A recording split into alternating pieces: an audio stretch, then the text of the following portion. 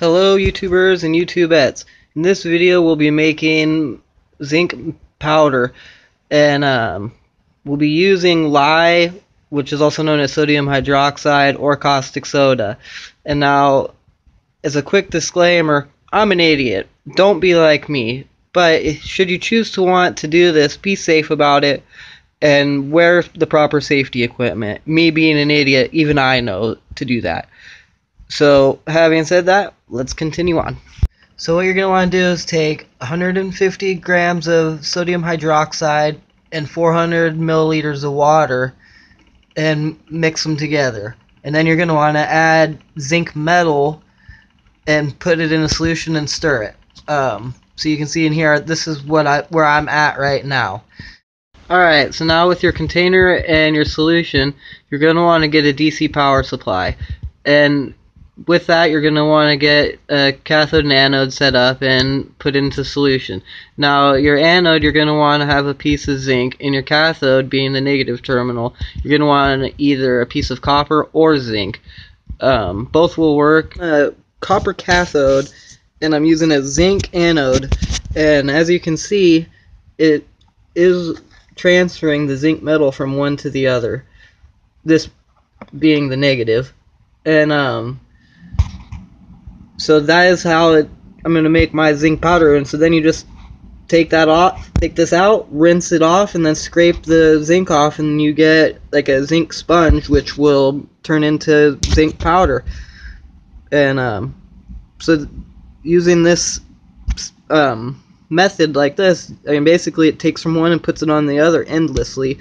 And um, so I'm using a ATX power supply that I made, and I just have the 5 volt standby as the power, and so um, it's creating a little bit of hydrogen, but not very much. But uh, yeah, as you can see, it it works. Alright, so after your cells ran for a little while, this is what it looks like. And you can see that the zinc's pretty well grown up over the copper. And so, um, in between these two uh, segments, I tested the difference between having the cathode with zinc or copper, and um, I didn't really see any kind of difference as per how much you gain over any certain amount of time. It seemed pretty equal, copper versus zinc.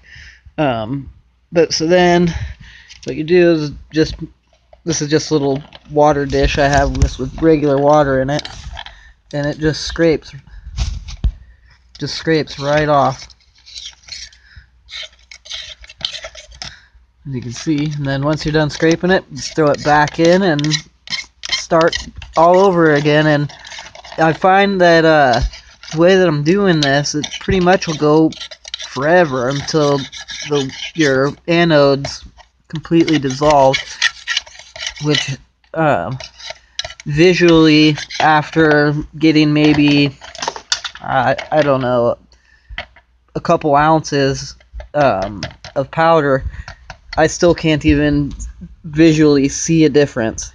And something you want to do also is keep your anode and your cathode as close together as possible.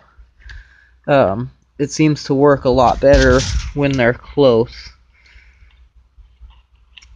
Uh, a lot faster. And so that's how you make zinc powder. Pretty easy. And well, I mean, you still want to dry this out too, filter it and then dry it. But it's ready to go at that point.